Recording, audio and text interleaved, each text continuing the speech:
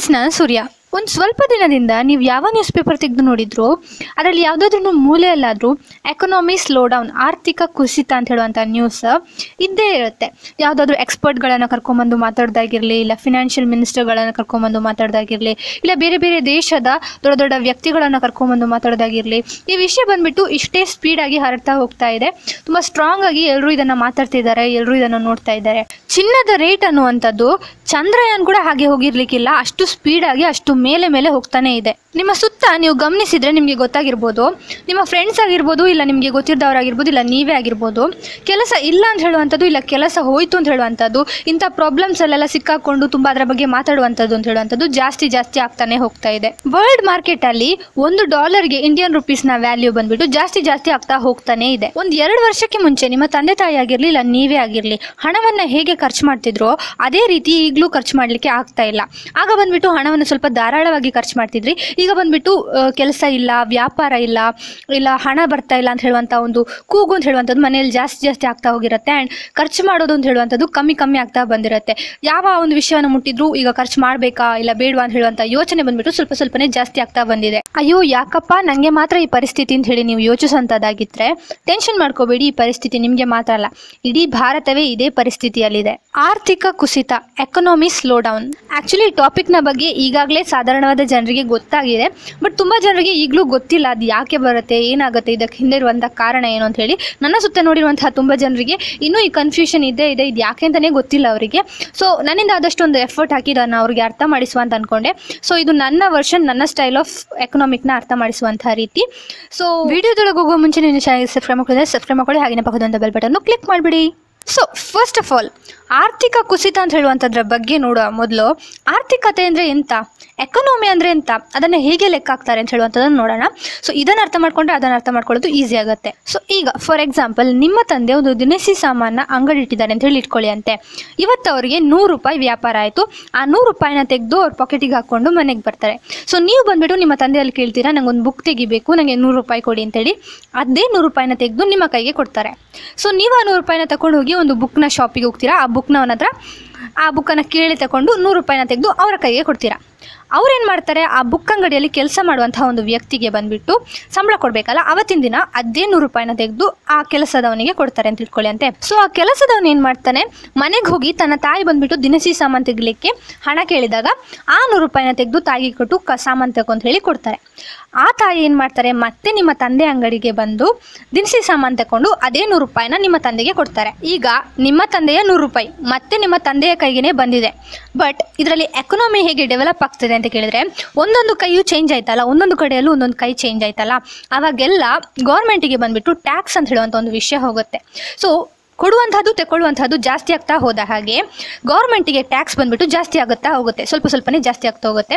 ಈಗ ನಿಮ್ಮ ಟ್ಯಾಕ್ಸ್ ಒಂದು ಚಿಕ್ಕ ಅಮೌಂಟ್ ಆಗಿದ್ರು, ಇಡೀ ಇಂಡಿಯಾಗೆ ಕಂಪೇರ್ ಮಾಡಿ ನೋಡೋದು ಅದು ದೊಡ್ಡ ಅಮೌಂಟ್ ಆಗಿರ್ತದಲ್ಲ. ಸೊ ಹೀಗೆ ಸ್ವಲ್ಪ ಸ್ವಲ್ಪಗೆ ಸೇರುವಂತಹ ಟ್ಯಾಕ್ಸ್ ಬಂದ್ಬಿಟ್ಟು ಜಾಸ್ತಿ ಆಗ್ತಾ ಹೋದ ಹಾಗೆ ದೇಶದ ಆರ್ಥಿಕ ಪರಿಸ್ಥಿತಿ ಅಂತ ಹೇಳುವಂಥದ್ದು ಚೆನ್ನಾಗಿದೆ ಅಂತ ಹೇಳಿ ಅರ್ಥ. ಸೊ ಈಗ ನೀವು ಕೊಡುವಂಥದ್ದು, ತೆಗೆಯುವಂಥದ್ದನ್ನು ಕಮ್ಮಿ ಮಾಡ್ಕೊಂಡ್ರಿ ಅಂತ ಇಟ್ಕೊಳ್ಳಿ ಅಂತೆ.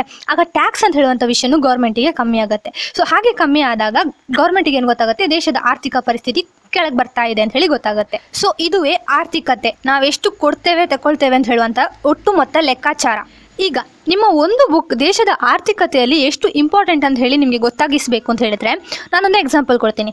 ಈಗ ನೀವೊಂದು ನೂರು ರೂಪಾಯಿಗೆ ಬುಕ್ ತಗೋತೀರಾ ಅಂತ ಹೇಳಿದ್ರೆ ನೀವು ಮಾತ್ರ ತಗೊಳ್ಳಲ್ಲ ನಿಮ್ಮ ಕ್ಲಾಸಲ್ಲಿ ಬೇರೆ ಜನರು ತಗೋತಾರೆ ಸೊ ಒಂದು ನೂರು ಜನರು ತಗೊಳ್ತಾರೆ ಅಂತ ಇಟ್ಕೊಳ್ಳಿ ಅಂತೆ ನೂರು ಜನರು ನೂರು ರೂಪಾಯಿಗೆ ಬುಕ್ ತಗೊಂಡ್ರೆ ಆ ಅಂಗಡಿ ಅವನು ಏನು ಮಾಡ್ತಾನೆ?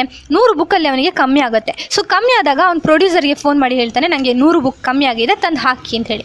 ಸೊ ಅಲ್ಲಿ ಮ್ಯಾನುಫ್ಯಾಕ್ಚರ್ ಮಾಡೋರು ಏನು ಮಾಡ್ತಾರೆ? ಆ ನೂರು ಬುಕ್ನ ಬಂದುಬಿಟ್ಟು ಕೊಟ್ಟು ಕಳಿಸ್ತಾರೆ. ಅಲ್ಲಿಂದ ಟ್ರಾವೆಲ್ ಮಾಡಿ ಅದು ಬಂದು ಆ ಶಾಪಿಗೆ ಬರುತ್ತೆ ಅದಕ್ಕೆ ಮತ್ತೆ ಅದನ್ನು ತೆಗೆದು ಹಾಕ್ತಾರೆ. ಸೊ ನಿಮ್ಮಿಂದಾಗಿ ನೋಡಿ ಅಂತೆ ಅಲ್ಲಿಂದ ಬುಕ್ ತರುವಂಥವರಿಗೆ, ಎತ್ಕೊಂಡು ಬರುವಂಥವ್ರಿಗೆ, ಇಲ್ಲ ಫ್ಯಾಕ್ಟ್ರಿಯಲ್ಲಿ ಮ್ಯಾನುಫ್ಯಾಕ್ಚರ್ ಮಾಡುವಂಥವ್ರಿಗೆ, ಅಲ್ಲಿ ಮ್ಯಾನುಫ್ಯಾಕ್ಚರ್ ಮಾಡುವಲ್ಲಿ ಕೆಲಸ ಮಾಡ್ತಿರುವಂಥವ್ರಿಗೆ, ಅದಕ್ಕೆ ಮತ್ತೆ ಕೆಲಸ ಮಾಡುವ ಅಲ್ಲಿ ಆ ಫ್ಯಾಕ್ಟ್ರಿ ಮೇಂಟೈನ್ ಮಾಡುವಂಥ ಗುಡಿಸುವವರು ಒರೆಸುವವರು ವಾಚ್ಮ್ಯಾನ್ ಇಂಥವರಿಗೆಲ್ಲ.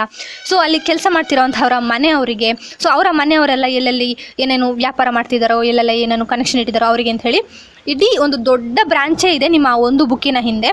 ಸೊ ಎಲ್ಲ ವಸ್ತುಗಳಲ್ಲಿ, ಇದು ಬುಕ್ ಮಾತ್ರ ಅಲ್ಲ, ನೀವು ಏನೆಲ್ಲ ವಸ್ತು ತಗೋತಿರೋ ಎಲ್ಲದರಲ್ಲೂ ಒಂದಕ್ಕೊಂದು ಕನೆಕ್ಷನ್ ಕೊಡ್ತಾ ಹೋದರೆ, ಇಡೀ ಇಂಡಿಯಾದ ದೇಶದ ಆರ್ಥಿಕ ಪರಿಸ್ಥಿತಿ ಹೇಳುವಂಥದ್ದು ಇಂಪಾರ್ಟೆಂಟ್ ಆಗಿ ಬರುತ್ತೆ. ಓಕೆ ಆರ್ಥಿಕತೆ ಆಯಿತು. ಇದು ಯಾಕೆ ಈಗ ಕೆಳಗೆ ಬರ್ತಾ ಹೋಗ್ತಿದೆ?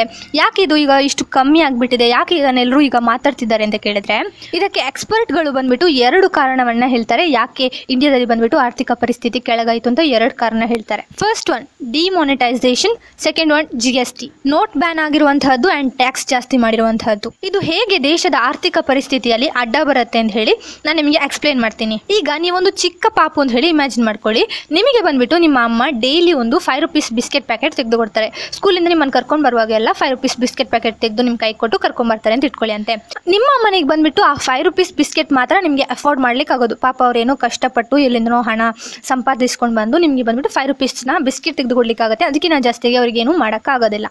ಸೊ ಈಗ ಸಡನ್ ಆಗಿ ಜಿ ಎಸ್ ಟಿ ಬಂತು. ಎಲ್ಲ ವಿಷಯಗಳಿಗೂ ಹಣ ಜಾಸ್ತಿ ಆಯಿತು.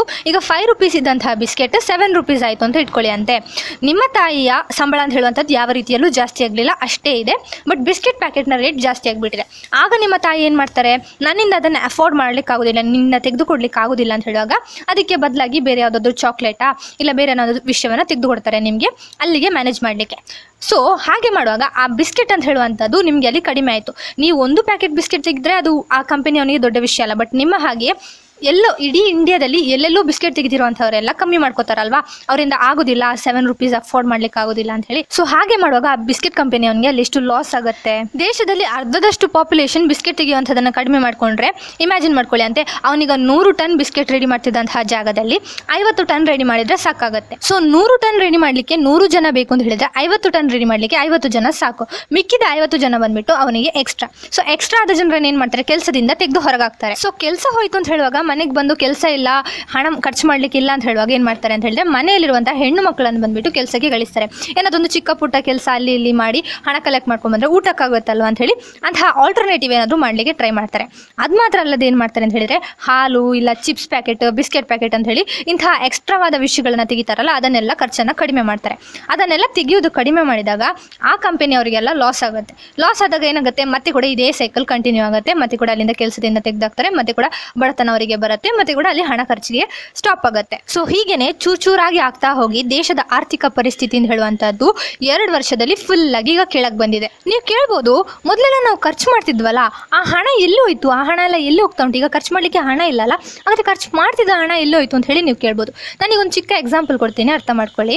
ಈಗ ಟ್ಯಾಕ್ಸ್ ನಮಗೆ ಜಾಸ್ತಿ ಆಯಿತು ಅಂತ ಹೇಳಿ ಹೇಳಿದಾನೆ ಅರ್ಥ ಆಗುತ್ತೆ ಅಲ್ಲ ಅದು ನಮಗೆ.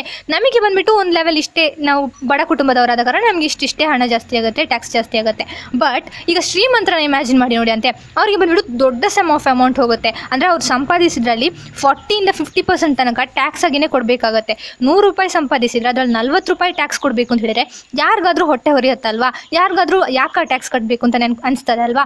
ಸೊ ಹಾಗೇನು ಮಾಡ್ತಾರೆ ದೊಡ್ಡ ದೊಡ್ಡ ಬಿಸ್ನೆಸ್ ಮ್ಯಾನ್ಗಳೆಲ್ಲ ನಾನು ಇಷ್ಟು ಸಂಪಾದಿಸ್ತೇನೆ ಅಂತ ಹೇಳಿ ತೋರಿಸಿರಲ್ಲ ಟ್ಯಾಕ್ಸ್ ಕಟ್ಟಲಿಕ್ಕೆ ಸೊ ನಾನು ಸಂಪಾದಿಸ್ತೇನೆ ಅಂತ ಹೇಳಿ ತೋರಿಸೋದೇ ಇಲ್ಲ ಅಂತ ಹೇಳಿ ಎಲ್ಲ ಹಣವನ್ನು ಅವ್ರು ಒಳಗೆ ಇಟ್ಕೊತಾರೆ ನಂತರ ಹಣ ಇಲ್ಲ ಅಂತ ಹೇಳಿ ಸ್ವಲ್ಪ ಮಾತ್ರ ಅಮೌಂಟ್ ತೋರಿಸಿ ಅದಕ್ಕೆ ಟ್ಯಾಕ್ಸ್ ಕಟ್ಬಿಡ್ತಾರೆ. ಸೊ ಎಲ್ಲ ಹಣವು ಹೀಗೆ ಒಳಗೆ ಹೋಗ್ತಾ ಹೋದರೆ ನಮಗೆ ಇಲ್ಲಿ ಖರ್ಚು ಮಾಡಲಿಕ್ಕೆ ಹಣ ಇಲ್ಲ. ನಮಗೆ ಇಲ್ಲಿ ಒಳಗೆ, ಹೊರಗಡೆ ಬಿಡಲಿಕ್ಕೆ, ತೆಗಿಲಿಕ್ಕೆ ಅಂತ ಹೇಳಿ ಹಣ ಇಲ್ಲ. ಎಲ್ಲರೂ ಅವ್ರವ್ರು ಒಳಗೆ ಇಟ್ಕೊತಾರಲ್ವಾ? ಅದಕ್ಕೋಸ್ಕರ. ನಾವು ಒಂದು ಫೀಲ್ಡಲ್ಲಿ ಇಮ್ಯಾಜಿನ್ ಮಾಡಿ ನೋಡುವಾಗಲೇ ಅದಿಷ್ಟು ಕಷ್ಟದ ಪರಿಸ್ಥಿತಿ ಬರುತ್ತೆ ಅಂತ ಹೇಳಿದರೆ ಇಂಡಿಯಾದ ಎಲ್ಲ ಫೀಲ್ಡನ್ನು ತಗೊಳ್ಳಿ. ಎಲ್ಲ ಫೀಲ್ಡಲ್ಲೂ ಇದುವೇ ನಡೆದಾಗ ಇಂಡಿಯಾದ ಪರಿಸ್ಥಿತಿ ಏನಾಗುತ್ತೆ? ಆರ್ಥಿಕ ಪರಿಸ್ಥಿತಿ ಅಂತ ಹೇಳುವಂಥದ್ದು ಹೇಗೂ ಕೆಳಗೆ ಬಂದೇ ಬರುತ್ತೆ. ಸೊ ಇದುವೇ ನಡೆದಿರುವಂಥದ್ದು. ಸೊ ಇದನ್ನೇ ಬಂದು ಎಕ್ಸ್ಪರ್ಟ್ಗಳು ಹೇಳಿರುವಂಥದ್ದು ನಾನು ಹೇಳಿದಲ್ಲ ಇದು. ಓಕೆ ಇದು ಮುಂದೆ ಇನ್ನೇನಾಗುತ್ತೆ? ಇದನ್ನ ಏನು ಮಾಡ್ತಾರೆ ಅಂತ ಹೇಳಿ ತಿಳ್ಕೊಳ್ಳೋ ಮುಂಚೆ ಇನ್ನೊಂದು ಇಂಟ್ರೆಸ್ಟಿಂಗ್ ಆದಂತಹ ವಿಷಯವನ್ನ ನಿಮಗೆ ಹೇಳಲಿಕ್ಕಿತ್ತು. ಎರಡ್ ಸಾವಿರದ ಎಂಟರಲ್ಲೂ ಇದೇ ತರ ಒಂದು ಪರಿಸ್ಥಿತಿ ಬಂದಿತ್ತಂತೆ. ಬಟ್ ಅದು ಇಂಡಿಯಾಗೆ ಮಾತ್ರ ಬರಲಿಲ್ಲ. ಇಡೀ ವರ್ಲ್ಡ್ಗೆ ಬಂದಿತ್ತಂತೆ. ಇಡೀ ಪ್ರಪಂಚದಲ್ಲೇ ಎಕನಾಮಿ ಸ್ಲೋ ಡೌನ್ ಅಂದ್ರೆ ಆರ್ಥಿಕ ಕುಸಿತತೆ ಬಂದಿತ್ತಂತೆ. ಆಗ ಇಡೀ ಪ್ರಪಂಚದ ಎಲ್ಲಾ ದೇಶಗಳು ಹಣಕ್ಕೋಸ್ಕರ ಕಷ್ಟಪಡ್ತಿರ್ಬೇಕಾದ್ರೆ ಇಂಡಿಯಾ ಮಾತ್ರ ಅದರಲ್ಲಿ ಯಾವ ರೀತಿಯಲ್ಲೂ ಕಷ್ಟಪಡಲೇ ಇಲ್ಲ ಅಂತೆ. ಎಲ್ಲ ರೀತಿಯಲ್ಲೂ ಬಚಾವಾಗಿ ಬಿಟ್ಟಿದಂತೆ ಹೇಗೆ ಅಂತ ಕೇಳಿದ್ರೆ, ನೀವು ಯಾವತ್ತಾದ್ರೂ ಅಪ್ಪನಿಗೆ ಗೊತ್ತಾಗದೆ ಅಮ್ಮನ ಹತ್ರ ಹೋಗಿ ಹಣ ಕೇಳಿದ್ದೀರಾ? ಕೇಳುವಾಗ ಅಮ್ಮ ಎಲ್ಲಿಂದ ತೆಗೆದು ಕೊಡ್ತಾರೆ ಅದನ್ನ ಜೀರಿಗೆ ಡಬ್ಬದಿಂದ ಇಲ್ಲ ಬೇಳೆ ಡಬ್ಬದಿಂದ ತೆಗೆದುಕೊಡ್ತಾರೆ. ಸೊ ಇದುವೇ. ನಮ್ಮ ಮನೆಯ ತಾಯಂದ್ರಿ ಅವತ್ತು ನೂರು ರೂಪಾಯಿ ಖರ್ಚು ಮಾಡ್ಲಿಕ್ಕೆ ಕೊಟ್ಟರೆ ಅದರಲ್ಲಿ ಐವತ್ತು ರೂಪಾಯಿ ಖರ್ಚು ಮಾಡಿ ಮಿಕ್ಕಿದ ಐವತ್ತು ರೂಪಾಯಿನ ಸೇವ್ ಮಾಡಿರ್ತಾರೆ ಸೊ ಹೀಗೆ ಸೇವ್ ಮಾಡಿಟ್ಟ ಹಣ ಅವರ ಕಿಚನಲ್ಲಿ ಎಲ್ಲ ಡಬ್ಬಗಳಲ್ಲೂ ಇತ್ತಲ್ವಾ? ಸೊ ಆಗ ಆರ್ಥಿಕ ಕುಸಿತತೆ ಬಂದಿದ್ದಾಗ ಹೀಗೆ ಅವ್ರು ಸೇವ್ ಮಾಡಿಟ್ಟ ಹಣವನ್ನೆಲ್ಲ ಹೊರಗೆ ತೆಗೆದ್ರಂತೆ. ಹೊರಗೆ ತೆಗೆದು ಅವ್ರು ಖರ್ಚು ಮಾಡಲಿಕ್ಕೆ ಕೊಟ್ಟಾಗ ಹೇಗೂ ಅಲ್ಲಿ ಖರ್ಚಾಯ್ತಾ? ಹಣ ಕೊಡುದು ತೆಗೆಯುವಂಥದ್ದೆಲ್ಲ ನಡೀತಾ? ಸೊ ಆರ್ಥಿಕತೆ ಅಂತ ಹೇಳುವಂಥದ್ದು ಕೆಳಗೆ ಬರಲಿಲ್ಲ. ನಾರ್ಮಲ್ ಆಗಿ ಇರ್ತಾನೆ ಇತ್ತಂತೆ ಬಟ್ ಈಗ ಬಂದಿರುವಂತಹ ಸಿಚುವೇಶನ್ನಲ್ಲಿ ಅದು ಸಾಧ್ಯ ಇಲ್ಲ. ಯಾಕೆ ಅಂತ ಕೇಳ್ತೀರಾ? ಈಗ ಹಣವನ್ನು ಸೇವ್ ಮಾಡಿಟ್ಟಿದ್ರು, ಅದಕ್ಕೋಸ್ಕರ ಹೊರಗೆ ಬಿಟ್ಟರು ಬಟ್ ಈಗದ ಪರಿಸ್ಥಿತಿಯಲ್ಲಿ ಸೇವ್ ಮಾಡಿಡಲಿಕ್ಕೆ ಆಗೋದಿಲ್ಲ. ಯಾಕಂದರೆ ಆಲ್ರೆಡಿ ಡಿಮಾನಿಟೈಸೇಷನ್ ಬಂತು. ಇನ್ನು ಯಾವ ಹಣ ಎಲ್ಲಿ ಬ್ಯಾನ್ ಆಗುತ್ತೋ ಅಂತ ಹೇಳುವಂಥ ಭಯ ಎಲ್ಲ ತಾಯಂದಿರಿಗೂ ಇದೆ ಅಲ್ವಾ? ಸೊ ಅದಕ್ಕೋಸ್ಕರ ಯಾರು ಅವರ ಕಿಚನಲ್ಲಿ ಡಬ್ಬದೊಳಗೆ ಹಣವನ್ನು ಸೇವ್ ಮಾಡಿರ್ತಾ ಇಲ್ಲ ಅಷ್ಟೇನು. ಸೊ ಸೇವ್ ಮಾಡಲಿಲ್ಲ ಅಂತ ಹೇಳುವಾಗ ಕಷ್ಟದಲ್ಲಿ ತೆಗೆದು ಅದನ್ನು ಖರ್ಚು ಮಾಡಲಿಕ್ಕೆ ಆಗೋದಿಲ್ಲ. ಸೊ ಇಂಥ ಪರಿಸ್ಥಿತಿ ಬಂದ ಕಾರಣ ಈಗ ಅದರಿಂದಲೂ ನಮ್ಮನ್ನು ಕಾಪಾಡಲಿಕ್ಕೆ ಸಾಧ್ಯ ಇಲ್ಲ. ಆ್ಯಂಡ್ ಎಕ್ಸ್ಪರ್ಟ್ಸ್ಗಳು ಇದಕ್ಕೆ ಏನು ಹೇಳ್ತಿದ್ದಾರೆ ಅಂತ ಹೇಳಿದ್ರೆ, ಇನ್ನೊಂದು ಎರಡು ಮೂರು ತಿಂಗಳವರೆಗೆ ಈ ಪರಿಸ್ಥಿತಿ ಬಂದ್ಬಿಟ್ಟು ಇನ್ನೂ ಇನ್ನೂ ಕಷ್ಟ ಆಗ್ತಾ ಹೋಗುತ್ತೆ, ಇನ್ನೂ ಇನ್ನೂ ಕೆಳಗೆ ಹೋಗ್ತಾ ಹೋಗುತ್ತೆ. ಅದಕ್ಕೆ ಮತ್ತೆ ಸ್ವಲ್ಪ ಸ್ವಲ್ಪನೇ ಅದು ಮೇಲೆ ಬರುವಂತಹ ಚಾನ್ಸಸ್ ಇದೆ ಅಂತ ಹೇಳುವಂಥದ್ದನ್ನ ತುಂಬ ನ್ಯೂಸಲ್ಲಿ ಹೇಳಿದ್ದಾರೆ. ಆ್ಯಂಡ್ ಇದರಿಂದ ಬಚಾವಾಗಲಿಕ್ಕೆ ಒಂದೇ ದಾರಿ ಏನು ಅಂತ ಕೇಳಿದ್ರೆ ಟ್ಯಾಕ್ಸ್ನ ಕಮ್ಮಿ ಮಾಡಬೇಕು ಅಂತ ಕೂಡ ಅವರು ಹೇಳಿದ್ದಾರೆ. ಹೇಗೆ ಅಂತ ಕೇಳಿದ್ರೆ, ಈಗ ನಾವೆಲ್ಲರೂ ತುಂಬ ಟ್ಯಾಕ್ಸ್ ಕಟ್ತಿದ್ದೇವೆ. ಟ್ಯಾಕ್ಸಿಗೋಸ್ಕರನೇ ನಾವು ಸಂಪಾದಿಸುವ ಹಣದಲ್ಲಿ ತುಂಬ ಅಮೌಂಟ್ ಹೋಗ್ತಿದೆ ಅಲ್ವಾ? ಸೊ ಟ್ಯಾಕ್ಸ್ನ ಕಮ್ಮಿ ಮಾಡಿಬಿಟ್ರೆ ನಮಗೆ ಬಂದ್ಬಿಟ್ಟು ಕೈಯಲ್ಲಿ ಸ್ವಲ್ಪ ಹಣ ಬರುತ್ತೆ. ಕಟ್ಟುವಂಥ ಟ್ಯಾಕ್ಸ್ ಕಟ್ಟುವಂಥ ಹಣ ನಮಗೆ ಬಾಕಿ ಆಗುತ್ತೆ. ಆ ಹಣ ನಮ್ಮ ಕೈಯಲ್ಲಿ ಬಂದರೆ ನಾವು ಅದನ್ನು ಖರ್ಚು ಮಾಡ್ತೇವೆ. ಖರ್ಚು ಮಾಡಿದಾಗ ಕೊಡುವಂಥದ್ದು, ತೆಗೆಯುವಂಥದ್ದು ಜಾಸ್ತಿ ಆಗುತ್ತೆ, ಆರ್ಥಿಕತೆ ಅಂತ ಹೇಳುವಂಥದ್ದು ಮೆಲ್ಲ ಮೆಲ್ಲ ಮೇಲೆ ಬರ್ತಾ ಹೋಗುತ್ತೆ. ಸೊ ಇದು ಬಂದ್ಬಿಟ್ಟು ಒಂದು ದಾರಿ ಅಂತ ಹೇಳಿ ಡಿಬೇಟ್ ಎಲ್ಲ ಮಾತಾಡಿದಾಗ ಅದರಲ್ಲಿ ಹೇಳ್ತಾರೆ. ಬಟ್ ಇದು ನಮ್ಮ ಕೈಯಲ್ಲಿಲ್ಲ ಗೌರ್ಮೆಂಟ್ನ ಕೈಯಲ್ಲಿದೆ. ಅದು ಅವ್ರು ಮಾಡ್ತಾರೆ, ಬಿಡ್ತಾರೆ, ಅದು ಅವರಿಗೆ ಬಿಟ್ಟದ್ದು. ಯಾಕಂತ ಹೇಳಿದ್ರೆ, ಅಲ್ಲಿ ಕೂತ್ಕೊಂಡು ಅವರ ಪ್ರಾಬ್ಲಮ್ ಏನು ಅಂತ ಹೇಳುವಂಥದ್ದು ಅವರಿಗೆ ಗೊತ್ತು, ನಮಗೆ ಗೊತ್ತಿಲ್ಲ ಅಲ್ವಾ? ಬಟ್ ನಮ್ಮಿಂದ ಇಲ್ಲಿ ಮಾಡ್ಲಿಕ್ಕಾಗುವಂಥದ್ದು ಏನು ಅಂತ ಕೇಳಿದ್ರೆ, ಅದಕ್ಕೊಂದು ಐಡಿಯಾ ಇದೆ. ನಿಮಗೆ ತರಕಾರಿ ಬೇಕಾ? ಮನೆ ಸುತ್ತ ಗಿಡ ನಡಿ. ನಿಮಗೆ ಕುಡಿಲಿಕ್ಕೆ ನೀರು ಬೇಕಾ? ಮಳೆ ನೀರು ಬಂದರೆ ಅದನ್ನು ಸೇವ್ ಮಾಡಿಡ್ಲಿಕ್ಕೆ ಟ್ರೈ ಮಾಡಿ. ನಿಮ್ಮಿಂದ ಎಲ್ಲೆಲ್ಲ ಆಗುತ್ತೋ, ಅಲ್ಲೆಲ್ಲ ಹಣವನ್ನು ಸೇವ್ ಮಾಡಿ. ನೀವು ಎಷ್ಟು ಸೇವ್ ಮಾಡ್ತೀರೋ ಅಷ್ಟು ನಿಮಗೇ ಒಳ್ಳೆಯದು ಯಾಕೆಂತ ಹೇಳಿದ್ರೆ, ಇನ್ನೊಂದು ಎರಡು ಮೂರು ತಿಂಗಳಿಗೆ ಪರಿಸ್ಥಿತಿ ಬಂದ್ಬಿಟ್ಟು ಇನ್ನೂ ಇನ್ನೂ ಕೆಳಗೆ ಹೋಗ್ತದೆ ಅಂತ ಹೇಳಿ ಹೇಳ್ತಾರೆ. ಸೊ ಇನ್ನೂ ಇನ್ನೂ ಕೆಳಗೆ ಹೋದಾಗ ನಮಗೆ ಊಟಕ್ಕೆ ಖರ್ಚಿಗೆ ಕಷ್ಟ ಆಗೋದು ಬೇಡ ಅಲ್ವಾ? ಸೊ ನಿಮಗೆ ಯಾವ ಕಷ್ಟ ಬಂದರೂ ಅದರಲ್ಲಿ ಬಚಾವ ಆಗುವಾಗೆ ಒಂದು ಸ್ವಲ್ಪ ಹಣವನ್ನು ಯಾವತ್ತೂ ರೆಡಿಯಾಗಿ ಇಟ್ಟಿಡಿ. ಸೊ ಇದುವೇ ನಮ್ಮಿಂದ ನಮ್ಮನ್ನು ಸೇವ್ ಮಾಡಲಿಕ್ಕೆ ಒಂದೇ ದಾರಿ. ಆ್ಯಂಡ್ ಆಗಲೇ ಚಿನ್ನದ ಬೆಲೆ ಜಾಸ್ತಿ ಆಗ್ತಿದೆ ಅಂತ ಹೇಳಿ ಹೇಳಿದೆ. ಇದಕ್ಕೂ ಅದಕ್ಕೂ ಏನಾದರೂ ಸಂಬಂಧ ಅಂತ ಹೇಳಿ ನೀವು ಕೇಳಿದರೆ, ಅದನ್ನು ನಾನು ನಿಮಗೆ ಎಕ್ಸ್ಪ್ಲೇನ್ ಮಾಡ್ತೀನಿ. ನಾವು ಯಾವಾಗಲೂ ಹಣ ಸೇವ್ ಮಾಡಲಿಕ್ಕೆ ಯಾವುದಾದ್ರೊಂದು ದಾರಿನ ಹುಡುಕ್ತಾನೆ ಇರ್ತೇವೆ. ನೋಡಿ, ಅದಕ್ಕೆ ನೀವು ಹಣವಾಗಿ ಸೇವ್ ಮಾಡಿಟ್ರೆ ಅದು ಕಷ್ಟ ಉಂಟು ಡೇಂಜರಸ್ ಉಂಟು. ನೀವು ಬ್ಯಾಂಕಲ್ಲಿ ಇಟ್ಟರೆ ಅದು ಡೇಂಜರಸ್ ಉಂಟು, ಕಷ್ಟ ಉಂಟು. ನೀವು ನೆಲವಾಗಿ ತೆಗೆದಿಟ್ರೆ ಇವತ್ತಿದ್ದಂತಹ ನೆಲ ನಾಳೆ ಹಾಗೆಯೇ ಉಂಟಾ, ಇಲ್ಲ ನಾಳೆ ಇದ್ದಂತಹ ನೆಲ ನಾಡ್ದು ಹಾಗೆಯೇ ಉಂಟಾ. ಅದೆಲ್ಲ ಸೇಫ್ ಆದ ದಾರಿ ಅಲ್ಲ. ಬಟ್ ಚಿನ್ನವನ್ನು ನೋಡಿ ಅಂತೆ. ನಮ್ಮ ಅಜ್ಜಿಯ ಕಾಲದಲ್ಲೂ ಚಿನ್ನ ಚಿನ್ನವೇ, ನಮ್ಮ ಅಮ್ಮನ ಕಾಲದಲ್ಲೂ ಚಿನ್ನ ಚಿನ್ನವೇ, ನಮ್ಮ ಕಾಲದಲ್ಲೂ ಚಿನ್ನ ಚಿನ್ನವೇ. ಇನ್ನು ನಮ್ಮ ಮಕ್ಕಳು ಮೊಮ್ಮಕ್ಕಳು ಮೊಮ್ಮಕ್ಕಳು ಎಷ್ಟು ಜನ್ರೇಷನ್ಸ್ ಬಂದರೂ ಚಿನ್ನ ಯಾವತ್ತು ಚಿನ್ನವೇ. ಸೊ ಎಲ್ಲರೂ ಏನು ಮಾಡ್ತಾರೆ? ಹಣ ಸೇವ್ ಮಾಡಿಡ್ಲಿಕ್ಕೆ ಚಿನ್ನದ ಕಡೆಗೆ ಹೋಗ್ತಾರೆ. ಚಿನ್ನ ತೆಗೆದು ಸೇವ್ ಮಾಡಿಡುವ ಅಂತ ಹೇಳಿ ಚಿನ್ನದ ಕಡೆಗೆ ಹೋದಾಗ ಚಿನ್ನದ ಡಿಮಾಂಡ್ ಜಾಸ್ತಿ ಆಗುತ್ತೆ. ಸೊ ಡಿಮಾಂಡ್ ಜಾಸ್ತಿ ಆದಾಗ ಹಣವು ಜಾಸ್ತಿ ಆಗುತ್ತೆ. ಸೊ ಇದಿಷ್ಟು ಇವತ್ತಿನ ವಿಡಿಯೋ ನಿಮಗೆ ವಿಡಿಯೋ ಇಷ್ಟ ಆಗಿದ್ರೆ ಲೈಕ್ ಮಾಡಿ, ನಿಮ್ಮ ಫ್ರೆಂಡ್ಸ್ ಎಲ್ಲರಿಗೂ ಶೇರ್ ಮಾಡಿ. ವಿಡಿಯೋದ ಒಪಿನಿಯನ್ ಏನು ಅಂತ ಹೇಳುವಂತಂದ್ರೆ ಕಮೆಂಟ್ ಬಾಕ್ಸಲ್ಲಿ ಖಂಡಿತವಾಗಿಯೂ ಕಮೆಂಟ್ ಮಾಡಿ. ನೀವು ಇನ್ನೂ ನನ್ನ ಚಾನಲ್ ಸಬ್ಸ್ಕ್ರೈಬ್ ಮಾಡ್ಕೊಂಡ್ರೆ ಸಬ್ಸ್ಕ್ರೈಬ್ ಮಾಡ್ಕೊಂಡು ಹಾಗೆ ಅಂತ ಬೆಲ್ ಬಟನ್ ಕ್ಲಿಕ್ ಮಾಡಿಬಿಟ್ರೆ ನಾನು ಯಾವಾಗಲೂ ವಿಡಿಯೋ ಹೋಗ್ತಾನೆ ನಿಮ್ಮ ಫೋನ್ ನಿಮಗೆ ಗಂಟೆ ಬರಿಸಿ ಹೇಳುತ್ತೆ. So this of take by hand stay thank you for watching